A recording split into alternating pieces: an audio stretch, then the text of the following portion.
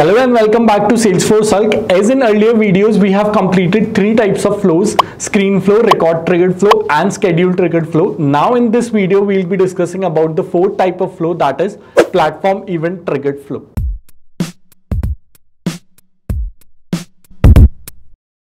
So platform event triggered flow is similar to any other flows like screen flow, which will get executed or triggered whenever we'll be interacting with the UI component. Record triggered flow, which will get executed whenever we'll be making some changes onto the record. Schedule triggered flow, which will get executed at a particular specific time. And now, in case of platform event triggered flow, it will get triggered whenever any of the event message is received from the platform that is Salesforce. So let's understand one of the scenario in which we will be using platform event triggered flow. So earlier we have created a screen flow which was divided into three sections. One was account, another was contact and another was opportunity from which user were able to create the records of all these three objects. Now while creating records at some situation user may face different kinds of errors and issues. Those errors and issues will be reported to Salesforce admin. So it will be very difficult for Salesforce admin to get all those problems and provide the solution at a particular time. So for this they can use platform event triggered flow to automate this whole process. So let's implement the same scenario practically into our Salesforce org. For that first we need to jump to the Salesforce org and before that let's see what we'll be doing. So we, we have created already created a screen flow and from that screen flow the record will be get created. But whenever any error will be there we need to create a log for that and for log we have created the object that is named as an error log and in that object we have created two fields initially that is name that to store that from which flow the error was there.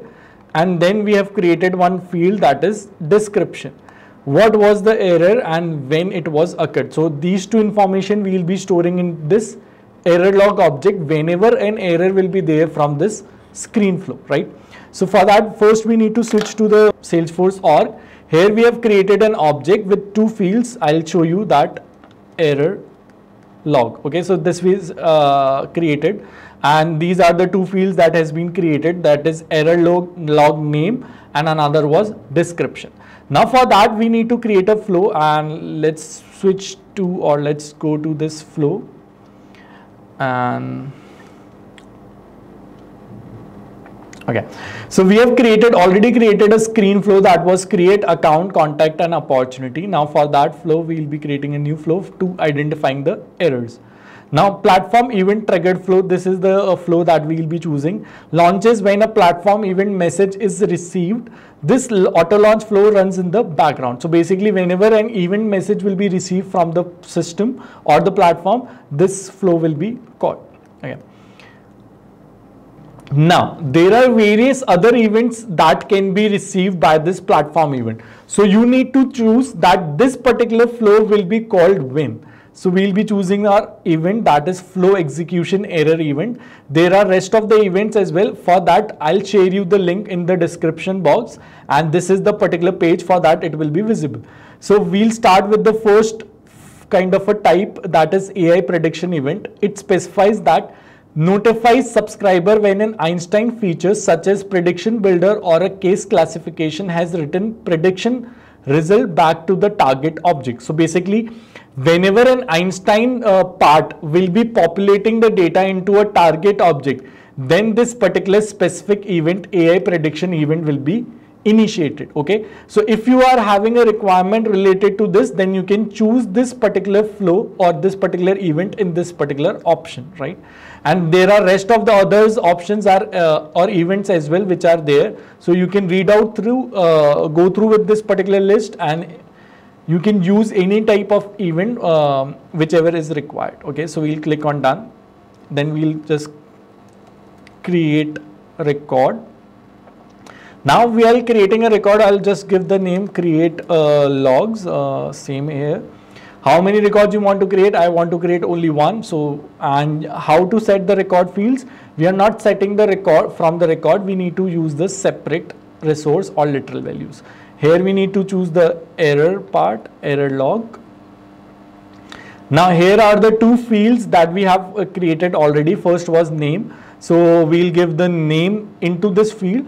Now, earlier as well, I've told you that whenever anything will be initiating the flow, for that the record or the information will be stored in this record global variable. So you'll be clicking onto that and here you'll be right uh, finding out the flow API name. Here it is. So it will be giving you the API name of that flow from which the error has been generated. And then there was a, another was box as in another field as in description that uh, in this we'll be choosing again record and here we'll be choosing flow message error something like that. There will be one thing that will be there. So you, you can search it for message so uh, error message, flow error message. Okay. So that is there and you can click on done. After creating this thing, you need to save this whole flow and you'll be saving it like error log flow. Okay. And save. After saving it, you need to activate this flow so that uh, it will be uh, available for the live users as well. Uh, now, for that, you need to go to the, uh, the screen flow where we need to create the records, right? So we are go, have gone to now we are not giving the account name which is required and which is like uh, which is the required field and which is compulsory to create the account record. So we'll be putting this next and last name I'm putting the last name Singh s at the rate is dot com and next now there is an opportunity name close date. I'll be writing OPP1. Close date will be something and stage will be something. And I'll click on next. Now you can see an unhandled fault has been occurred in this flow and I'll, if I'll show you none of the records will get created. You can see that account record hasn't been created. Uh, contact records with the name of Singh hasn't been created and up for opportunity as well. The record was not created. Why? Because there was an error while creating or while executing that screen flow. So let me go to error logs and the one record has been created with the name of create account contact opportunity. If you click onto that and this is the name of the flow and this is what the description of that flow. Basically the description of that error. And what this description says, this error occurred when the flow tried to create records required field missing and required fields are missing name. So name field was missing that's why this error was there. So this is how the whole implementation look like. So I hope now you got the clear understanding of platform event triggered flow and as discussed we will be sharing you the link of the documentation as well in the description box which will be having the list of events which you can use in different scenarios. And if you enjoyed this video hit the like button subscribe to our channel and comment below on which topic you want our next video.